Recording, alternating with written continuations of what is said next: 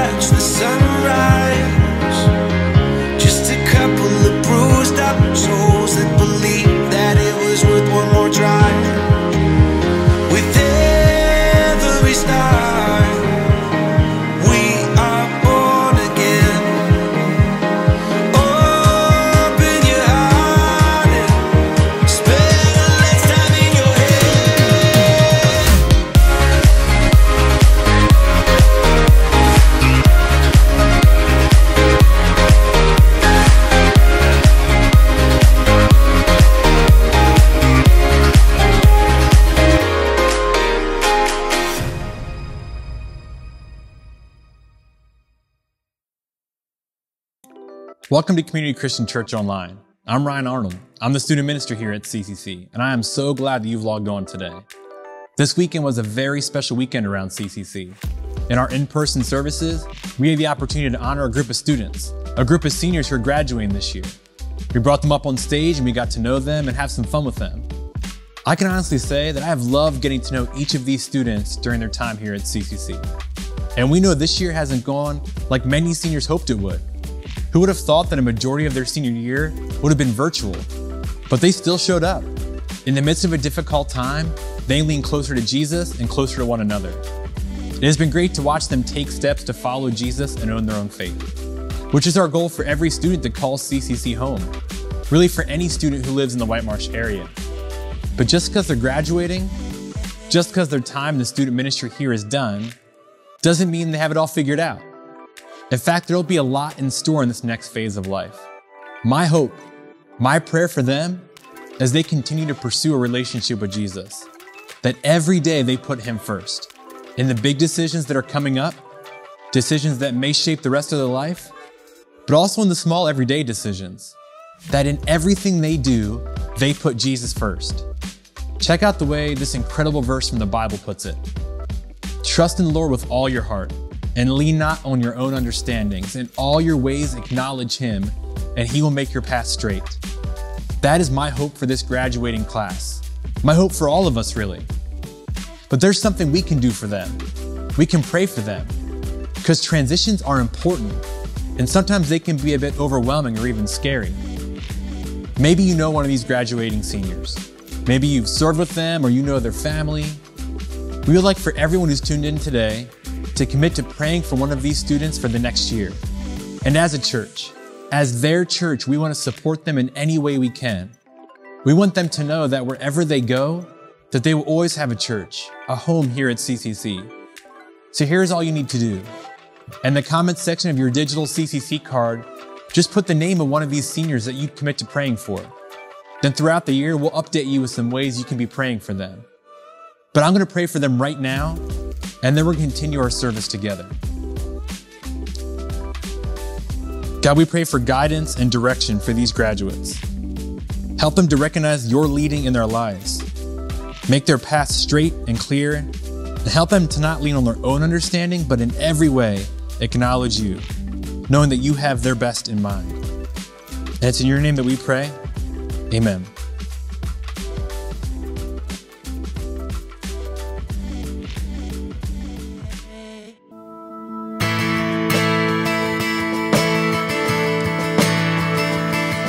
Every battle, through every heartbreak, through every circumstance, I believe that you are my fortress, you are my portion, you are my hiding place. I believe you are the way, the truth I believe you are the way, the truth, the light. I believe through every blessing, through every promise, through every breath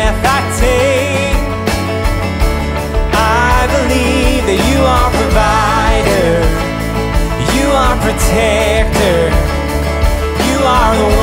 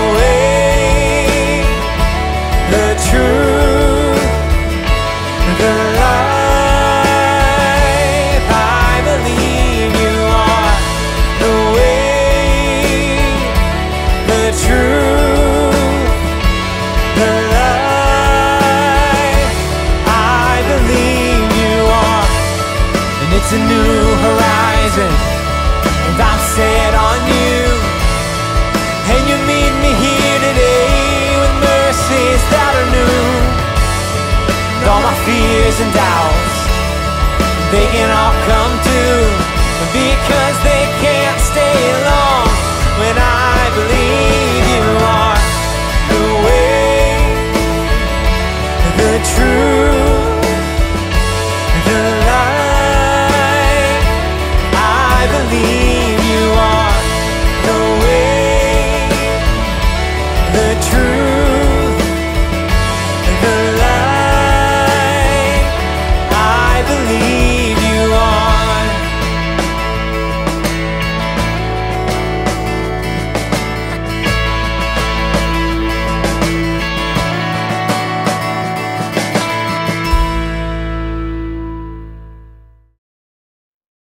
Hey, everybody. Thanks for tuning in today. And congratulations to all our high school graduates. Way to go. It's no small thing, especially in a year like we've just experienced, to complete this task, graduate from high school. That's a very good thing and something worth celebrating. Now, I want to tell you something now that you're graduated that I hope sticks with you like nothing else. I hope it stays with you forever. I hope it stays with everybody, really. I remember what my mom told me the day after I graduated from high school. Never forget it. She woke me up early in the morning before she rolled off to work and she said, David, now that you've graduated, it's time to get a job. That's what she said. Go get a job. And she was talking about a summer job. I was headed for college that fall. And during my high school years, I was involved in a lot. I played sports for my high school. I was in the band for my high school. I was involved with a lot of clubs and activities. I was involved in the student ministry at my church. And because of all that, my parents said, Hey, when you're in high school, since you're involved in those things, you don't have to get a job. But the day after graduation, all that was over. No more clubs, no more high school sports, no more high school band, aged out of the youth group. Time to get a job. So that's what I did. I actually had a job by noon of that day. Worked at Acme Sports. No kidding. The Roadrunner was looking for a new baseball glove, he'd have felt right at home at Acme Sports. You know, they're giving away signing bonuses at some places for high school and college age kids to start working for certain places. I, I heard that and I thought, that's crazy and awesome and crazy, but still awesome. Anyway, that's the first thing my mom told me after I graduated high school. Go get a job. I want to tell you something now that you've graduated, and I hope you never forget it, that it always sticks with you. And it's not get a job. I mean, some of you will do just that. Some of you will start school. Some of you will do both. Now, what I want to hold up before you today is summed up for us beautifully in the Bible in the book of Titus. If you have a Bible with you in one way, shape, or form, get to the tiny little book called Titus. And we, we looked at a handful of verses out of Titus during last week's service, and we're going to look at one of the greatest statements out of not just Titus, but the entire Bible. It's a statement that I hope you carry with you always. And it's a foundational statement from which springs what we're even doing here, this whole church thing, this whole Christian thing.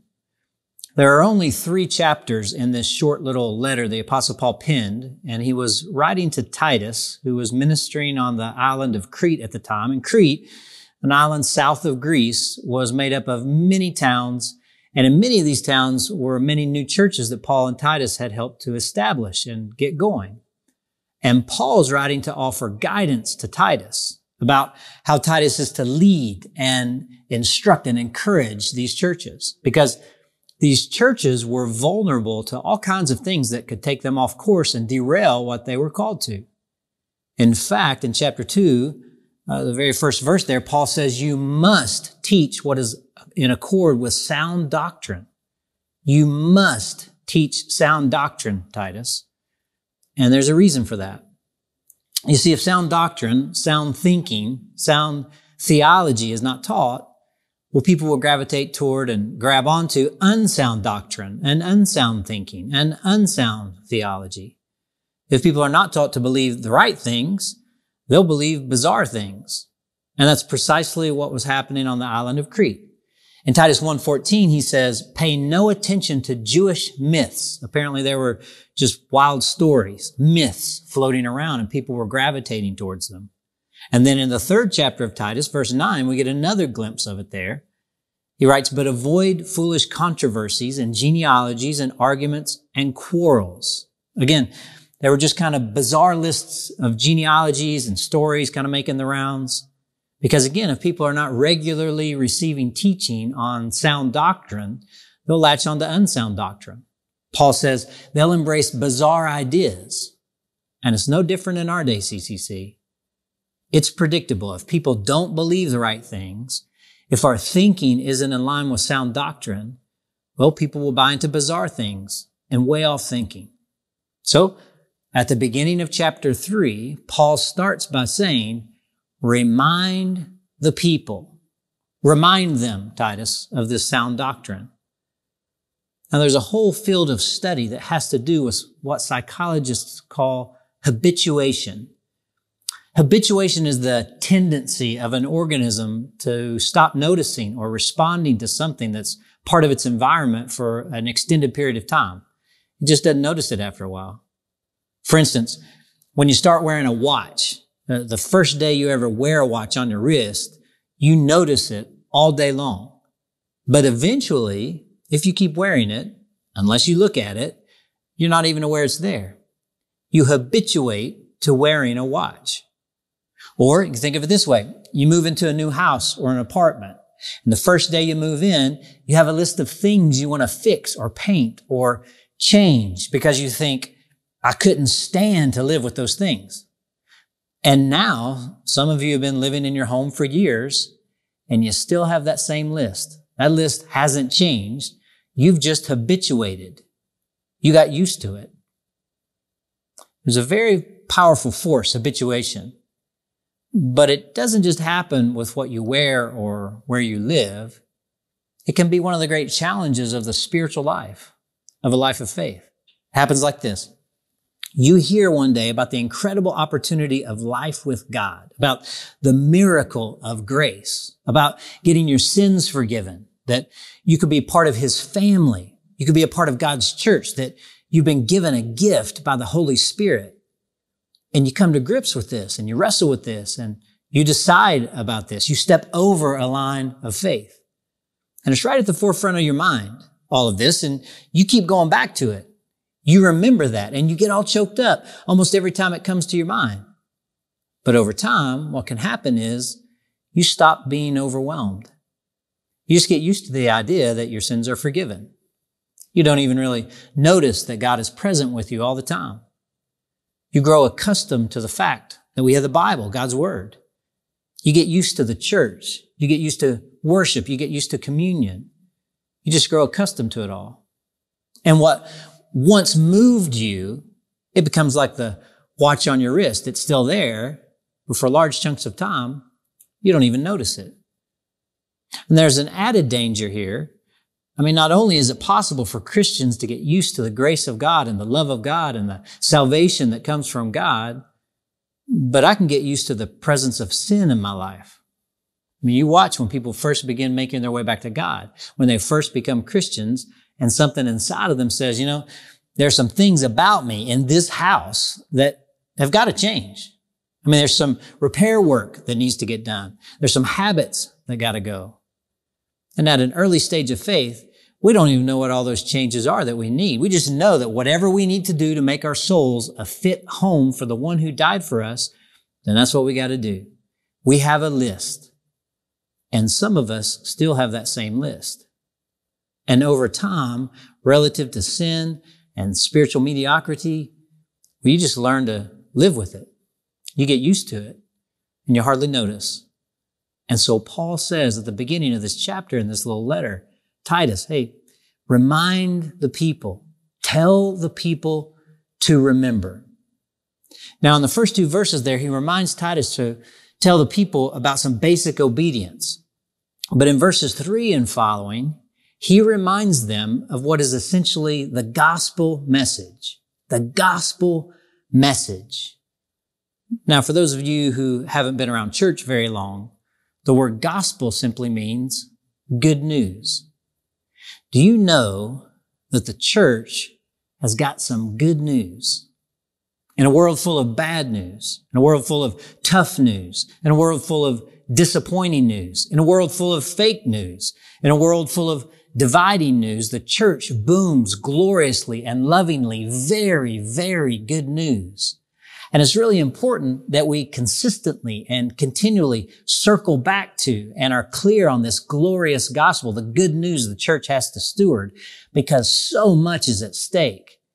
In Titus 3 verses 3 through 7, it's generally regarded by biblical scholars as perhaps the most succinct statement in the New Testament, Testament about the good news of Jesus Christ. And this is what I want to give us all, old and young, doesn't matter but especially on this day to you graduates, Titus 3, 3 through 7. Let me remind us of the glorious good news.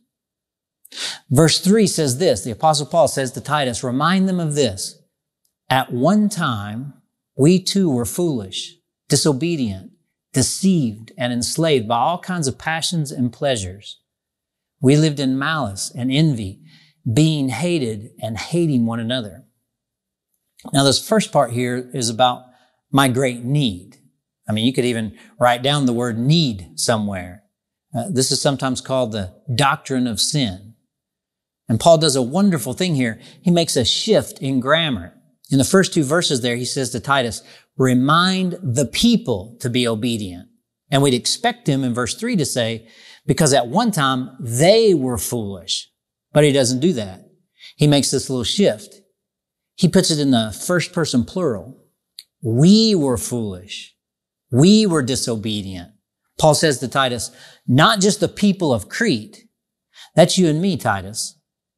And you know what? That's you and me too, CCC. I don't know about you, but one of my biggest problems, I think partly because I grew up in the church, was for a long time I didn't understand what it is that I'm capable of apart from God. I mean, you look at verse three there and the description that's there. Apart from the grace and power of God, I'm here to tell you that would be my life. And a key word there in that verse is the word enslaved. You know, Paul talks about this elsewhere in the Bible. He says, I do the very things I don't want to do. Apart from the power of the grace of God in my life, no matter how bad I want to be good, I find myself doing the very things I don't want to do. It's like I'm trapped. I'm enslaved.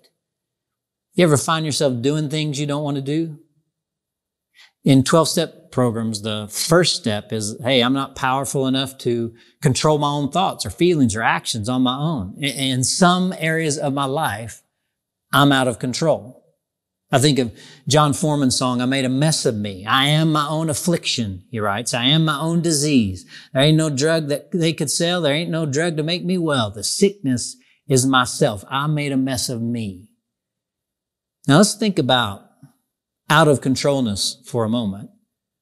I mean, maybe it's eating, maybe it's anger, maybe it's fear, maybe it's spending, maybe it's manipulation or pride or envy or pace of life or guilt or fear or destructive words or destructive habit, whatever it is.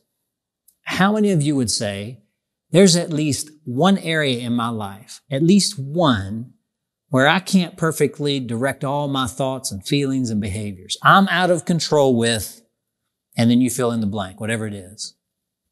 Well, the truth is, it's all of us in some area or another.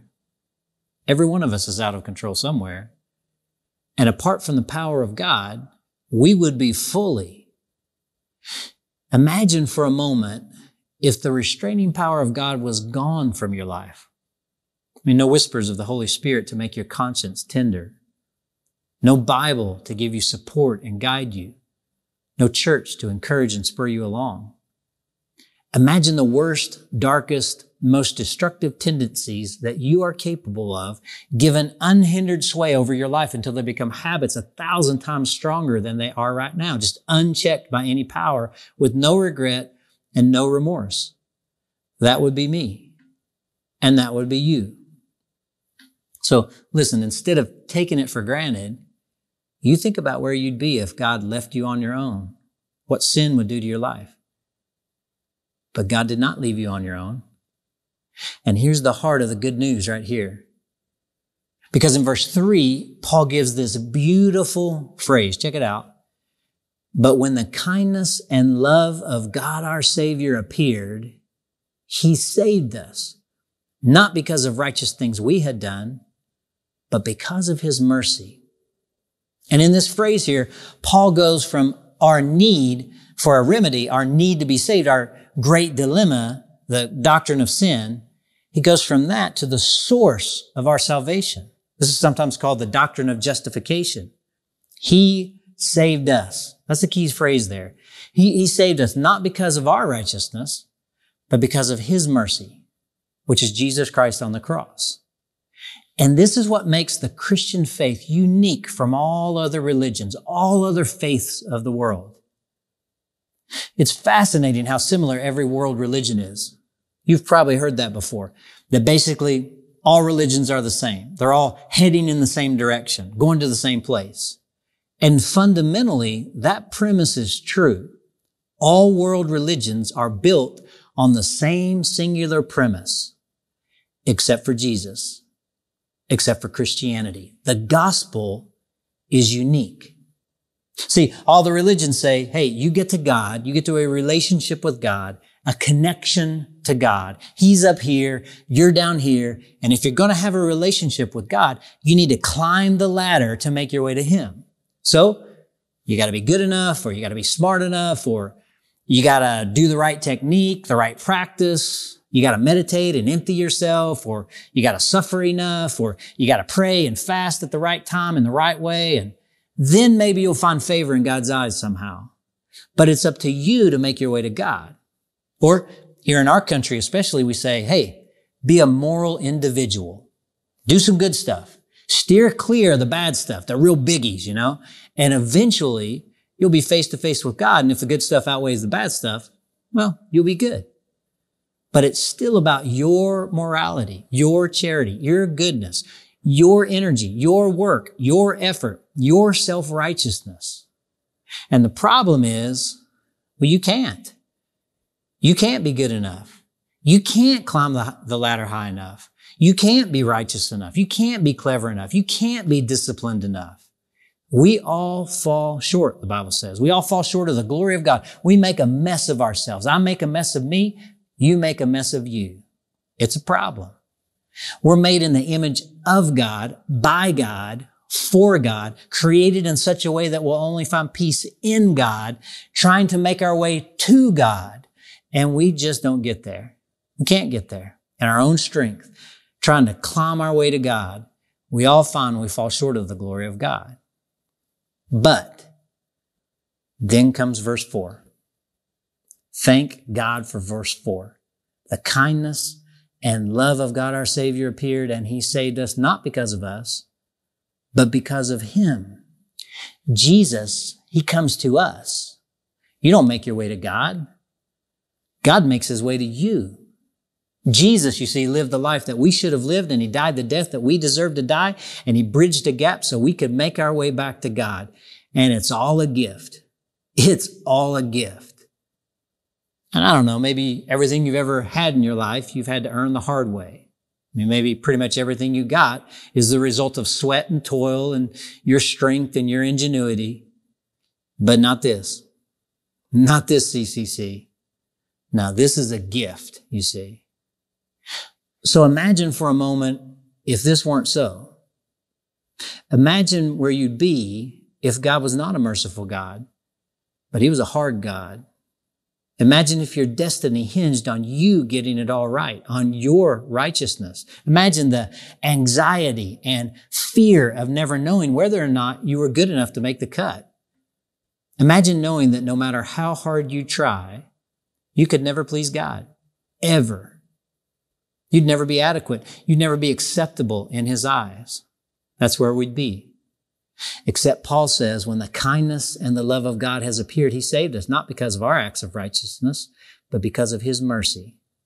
So, Community Christian Church, today I remind you, every time you hear the word mercy, every time you say the word grace, every time you sense God kind of smile on your life, every time you hold a piece of bread that Jesus said was his body broken for you, every time you hold the cup that Jesus says was his blood poured out for you, it's no accident.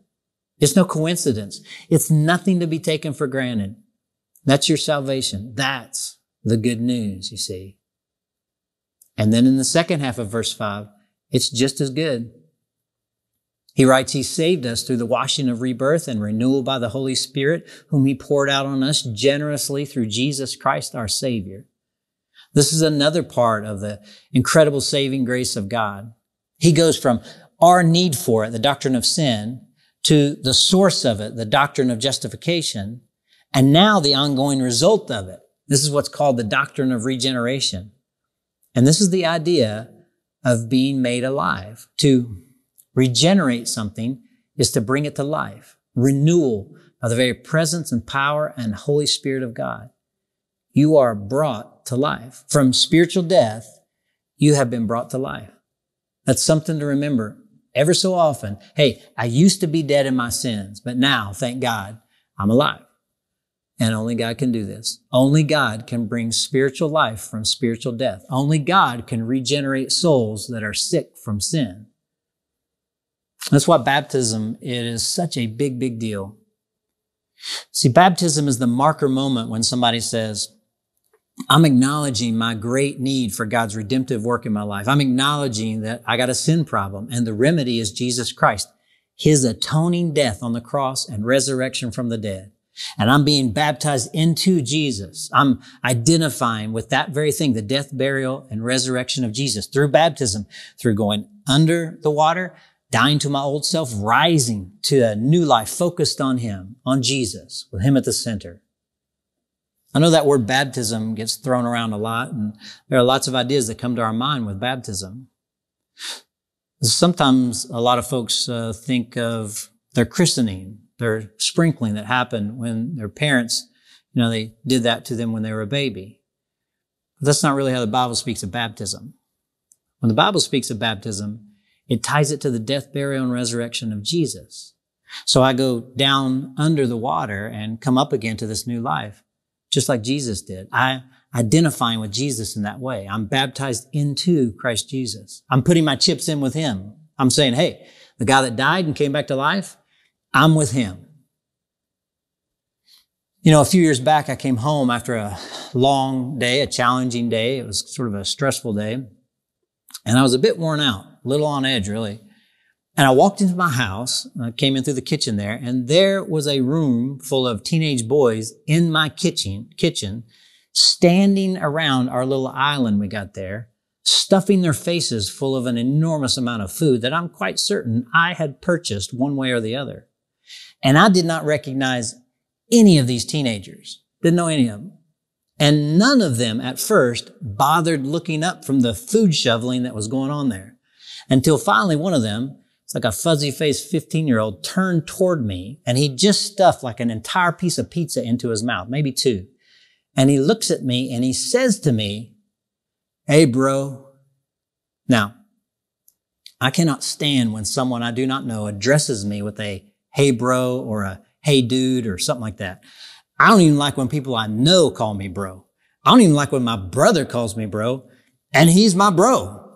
And I say this knowing full well that there's about a dozen or so people in our church who will call me that the next time I see them. I'm looking at you, Tom Palm. So anyway, fuzzy faced pizza mouth calls me bro, and I'm going to decide that I'm going to walk right over to him and get some things straight about how to introduce yourself to someone, especially if you're in their house eating their food. we're going to do class 101 of man school, you know? And as I'm walking straight toward Fuzzy Face, he can tell, I'm sure because my face wasn't all that warm and hospitable. And, and all of a sudden, when I'm walking over to this guy, my oldest son, Daniel, he comes up from the basement into the kitchen and he's like, Hey, dad. And he introduces all these guys, you know, this is Dustin and Steve and George and Stinky and Fuzzy. And I don't remember their names really. He's like, I got a FIFA video game tournament going on downstairs. That's what we're playing. And he just kind of de-escalated everything I was feeling. And I'm sure Fuzzy Face there said something like, I'm with him. I'm with Daniel. And everything was cool because they were with my son. See, if it's just a random group of teenage boys from the neighborhood who I do not know and they're invading my house, well, that's not cool and they're not staying. But because they're with my son, we're good. Make yourself at home. Try not to choke on a slice of pizza and don't burn my house down.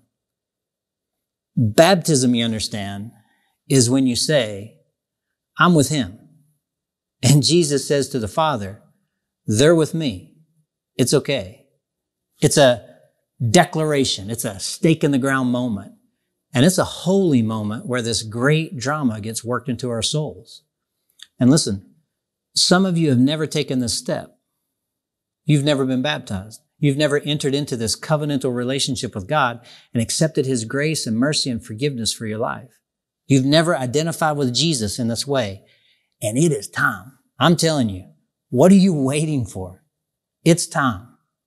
You know, some of you have said, I'm with Him, but you've never taken the step of baptism.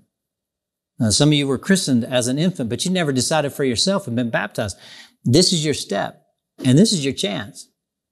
In fact, we got a baptism celebration coming up on the first Sunday of June, June 6th. Going to be a great day here at CCC as we get to celebrate some folks taking that step of baptism. And it's totally worth celebrating, which is why we got a big old tent we're setting up on the back parking lot out there. We got a couple of tanks we're setting up, one inside, one outside. And we got several different food trucks, including the Miss Twist truck, the Dizzy Cow Pizzeria truck, Cody's Grill truck, the Dunkin' Donut truck. Did you even know there was a Dunkin' Donut truck?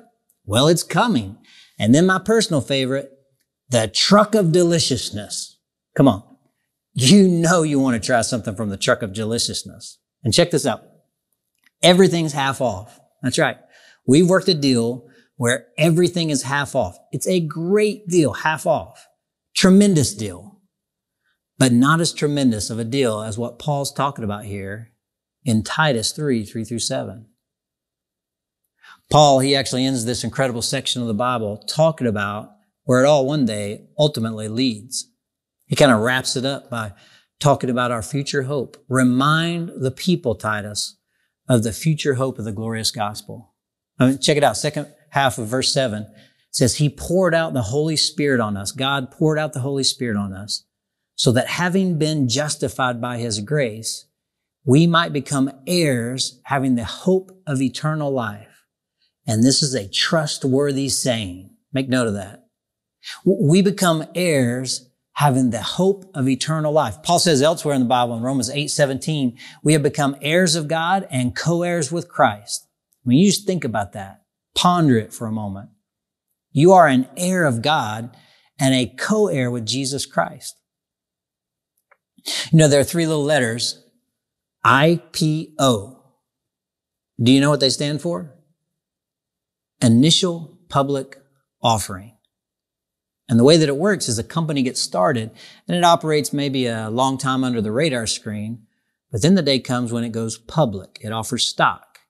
And on that day, the day of the IPO, initial public offering, when things work out right, well, fortunes get made, destinies get assured. People can strike it big because of IPOs. But there's a lot of risk involved because they're never a sure thing. And Paul says, Titus, remind the people, this is a trustworthy saying. One day the trumpet's going to sound and one day graves are going to open up and the dead in Christ will rise and Wall Street and the NASDAQ and the S&P 500 will experience an eternal correction on that day.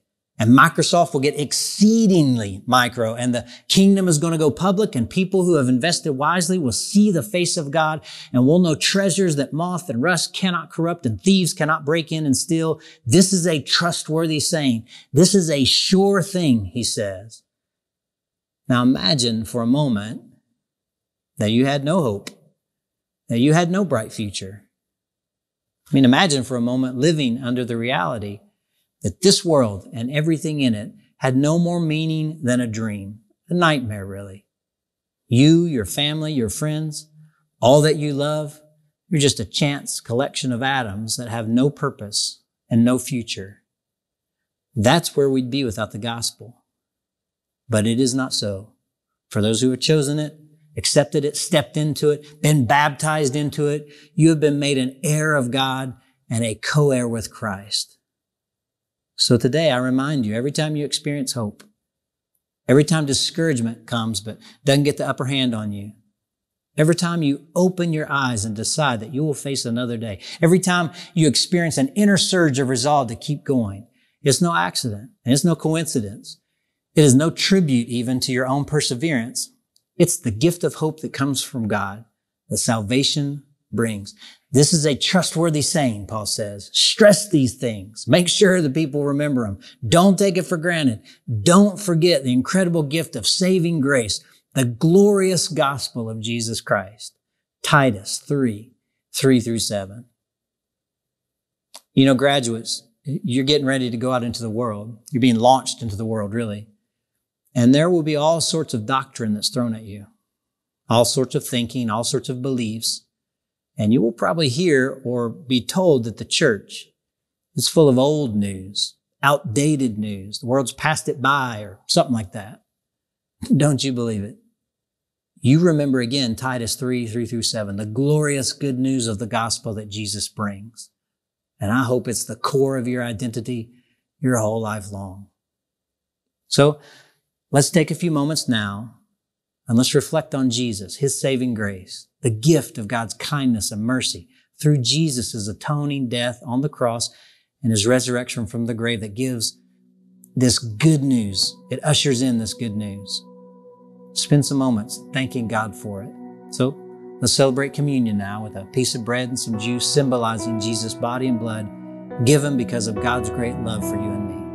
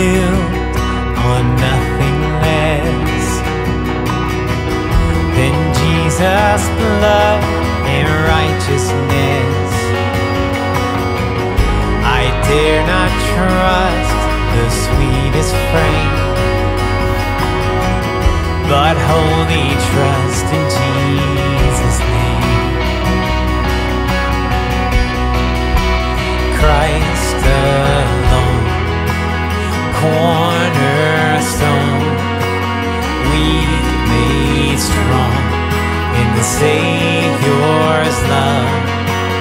Through the storm, He is Lord, Lord of all.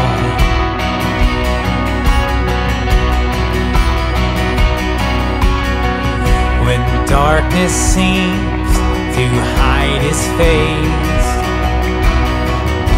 I rest on his unchanging grace.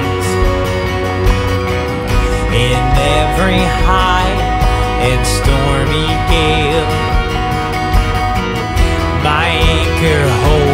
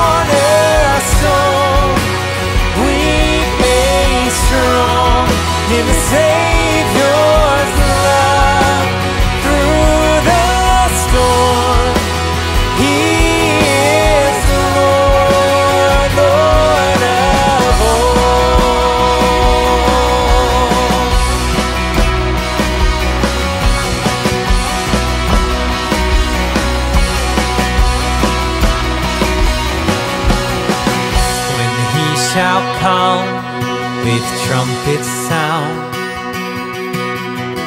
Oh, may I then in him be found, dressed in his righteousness alone, faultless to stand before the throne. Thanks again for logging on today. If you'd like to support CCC's mission of helping people find their back to God, you can text CCC White Marsh to 77977 or just follow the link at communitycc.net. Don't forget about the baptism celebration on June 6th. There's going to be a tent and food trucks and, of course, baptisms. If you're interested in finding out more or have questions about baptism, just head to the website. Say hi on social media and connect all week. It would be great to hear from you. Thanks again for making CCC Online a part of your week. See you right back here next time.